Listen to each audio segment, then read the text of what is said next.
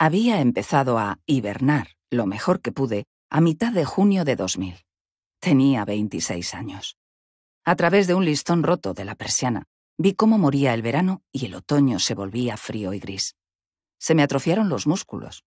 Las sábanas amarilleaban en la cama, aunque por lo general me dormía delante de la televisión en el sofá, que era uno muy caro, de Pottery Barn, y de rayas azules y blancas, y estaba hundido y lleno de manchas de café y sudor. No hacía mucho en las horas de vigilia, aparte de ver películas. No soportaba la televisión normal. Sobre todo al principio, la tele me provocaba demasiadas cosas y me obsesionaba con el mando a distancia, pulsaba botones, me burlaba de todo y me trastornaba. Era demasiado para mí. Las únicas noticias que podía leer eran los titulares sensacionalistas de los diarios locales en el colmado.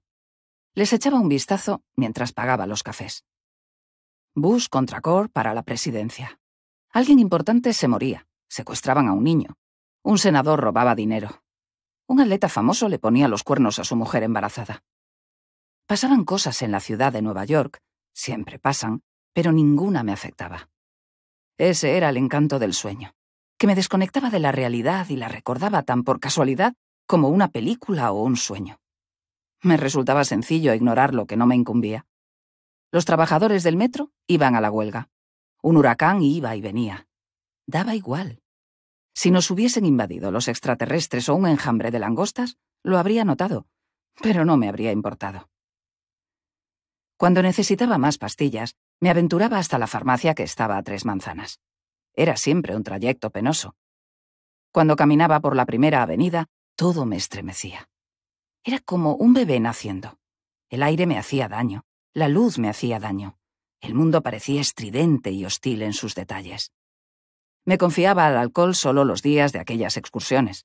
Un trago de vodka antes de salir y pasaba por delante de todos los bistrós y cafeterías y tiendas que solía frecuentar cuando aún pisaba la calle, fingiendo que vivía la vida. Si no, procuraba limitarme al radio de una manzana alrededor de mi casa. Todos los hombres que trabajaban en el colmado eran egipcios jóvenes. Aparte de mi psiquiatra, la doctora Tattel, mi amiga Reba y los porteros del edificio, los egipcios eran las únicas personas a las que veía habitualmente. Eran bastante guapos, unos más que otros. Tenían la mandíbula cuadrada y la frente varonil, las cejas marcadas como orugas. Y todos parecían llevar pintada la raya del ojo.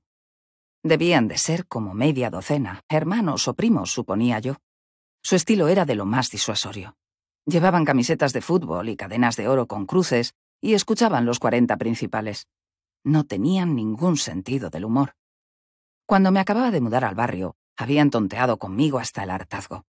Pero en cuanto empecé a entrar arrastrando los pies a horas raras, con legañas en los ojos y porquería en la comisura de los labios, dejaron de intentar ganarse mi cariño. ¿Tienes algo aquí? me dijo una mañana el que estaba detrás del mostrador, señalándose la barbilla con los largos dedos morenos. Hice solo un gesto con la mano. Luego descubrí que tenía la cara llena de costras de pasta de dientes. Después de unos cuantos meses de aparecer desaliñada y medio dormida, los egipcios empezaron a llamarme jefa y a aceptar sin problema 50 centavos cuando pedía un cigarrillo suelto, lo que hacía bastantes veces.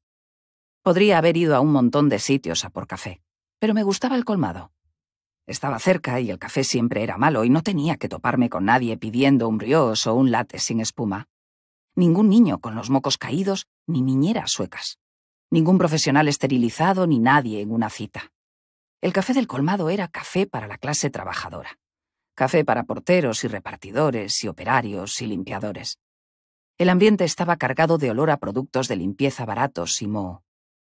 Podía contar con que el congelador empañado estuviera hasta arriba de helados y polos y tarrinas de postre. Los compartimentos de plexiglas que había encima del mostrador Estaban llenos de chicles y caramelos. Todo estaba siempre igual. Cigarrillos en filas ordenadas. Rollos de